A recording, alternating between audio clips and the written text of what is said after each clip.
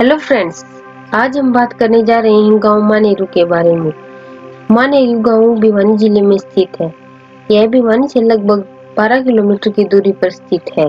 2011 की जनगणना के अनुसार मानेरू गाँव की जनसंख्या लगभग 8,214 थी जो अब लगभग 13,000 के करीब है। मानेरू गाँव की स्थापना लगभग 600 वर्ष पहले हुई थी। इस गाँव को सन 1422 ईस्वी में गाँव चांग से आकर श्री बाबा जी ने बसाया था जिनके वंशज श्री मान सिंह के नाम पर इस गाँव का नाम मानेरू रखा गया। और आज ये गाँव मानेरू के नाम से जाना जाता है। मानेरू गाँव में देवी मंदिर दुर्दाधारी मंदिर, श्याम बाबा मंदिर, बाबा बानीवाला मंदिर और बालाजी मंदिर जैसे पवित्र मंदिर हैं। इनमें गाँव वालों की गहरी आस्था है। मानेरू गाँव में अनेक सूरवीरों ने जन्म लिया, जिन्होंने अपने देश की रक्षा करने के लिए अपने प्राणों का बलिदान दे दिया। वह देश की रक्षा के लिए हमेशा तत्पर रहते हैं। उनमें से कुछ सूरवीरों का नाम इस प्रकार है। जमादार नारायण सिंह पवार, मुंशी सिंह पवार, पुत्र श्री हमीरा सिंह, सतीश पुत्र श्री चंदूलाल, बाबू सिंह पुत्र श्री दुर्जन सिंह, ओमवीर पुत्र श्री सुखी राम गाँव मानेरू में अनेक महान दानवीरों ने जन्म लिया, जिन्होंने गाँव के उत्थान के लिए अनेक सराहनीय काम किए।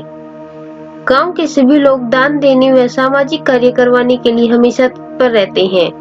उनमें से कुछ महान दानवीरों के नाम है, कृष्ण पुत्र श्री चंदूलाल गर्ग, ईश्वर चंद्र पुत्र श्री घासीराम गोयल, दीनदयाल पुत्र श्री बालूराम सेठ मोतीराम पुत्र श्री लक्ष्मण दास सेठ मानेरू गाँव में अनेक महान व्यक्तियों ने जन्म लिया।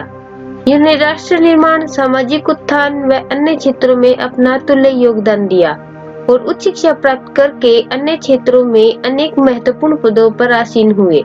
उनमें से कुछ महान व्यक्तियों के नाम है श्री बनारसी दास गुप्ता जी, सतेंद्र परमार, रविंद्र परमार भीम सिंह पुत्र श्री दिलीप सिंह परमार मंजीत पुत्र श्री मामन गुप्ता, मानेरू गाँव में सभी बरादरी के लोग आपस में भाईचारे और प्रेम के साथ रहते हैं।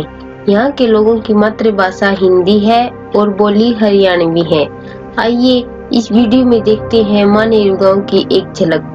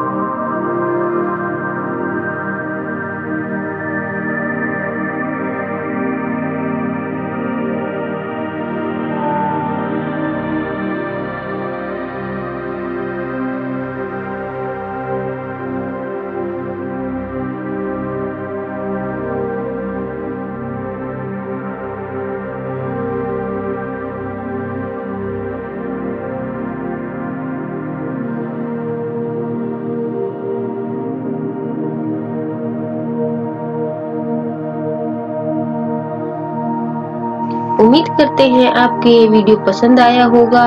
हरियाणा के गाँव से जुड़ी हुई और अधिक जानकारी जानने के लिए हमारे यूट्यूब चैनल को सब्सक्राइब करें और इसे अपने दोस्तों के साथ शेयर करें। धन्यवाद।